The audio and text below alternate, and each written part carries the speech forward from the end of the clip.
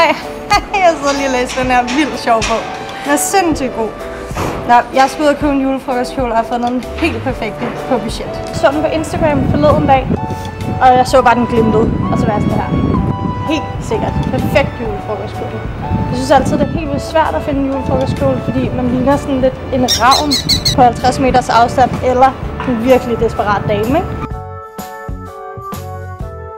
Hvor mange penge har jeg? Og hvad skal jeg bruge den. på? Taxa koster måske 100 kroner hver vej. Det er 200 kroner. Øh, natmad kan klare en 50'er, hvis du vil flere. Shots, der vil sige de 300 kroner i hvert fald. Så det er 250, 550 allerede uden outfittet. Så hvor mange penge har du tilbage til det outfit? Det skal du tænke over. Den er her i vinduet. Det er den der. Ja, den der. Nu prøver jeg. Er I klar til at se?